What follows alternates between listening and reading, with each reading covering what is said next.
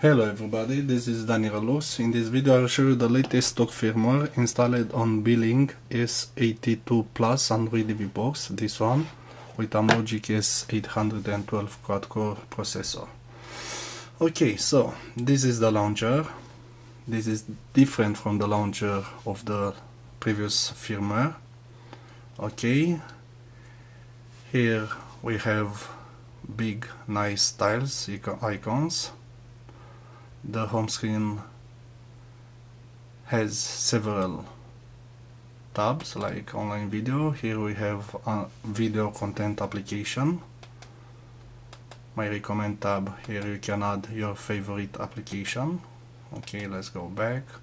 My application all the pre-installed application here. Okay. As you can see the firmware is rooted okay. We have Flix Universe application for watching online movies. Nice application. Okay. Let's go back. Okay we have Play Store we have GApps everything is working nice. Let's go back. We have local file browser and so on gallery clean memory and another shortcuts here in the bottom. And you can add another shortcuts to your favorite application. Settings.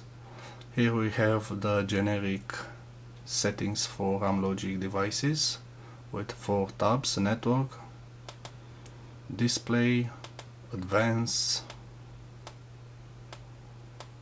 and other as you can see, the model number is 82, Android version Android KitKat 4.4.2, the build number and the kernel version 3.10.33.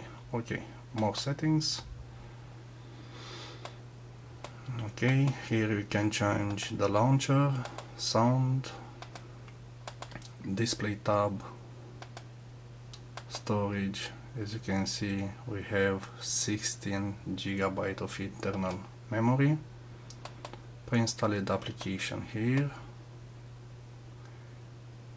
Okay permission location languages. Here we have all the languages. Okay let's go back. About media box